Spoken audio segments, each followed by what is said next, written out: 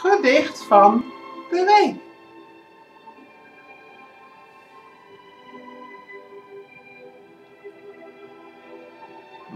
Bezinning. Ik, ik zou niet weten wie of waar ik ben. Want ik ben terechtgekomen in een wereld waar ik bijna niemand ken. Nu pas zie ik het nut van de sociale contacten in. En nu ik dit weet, heeft mijn leven weer zin.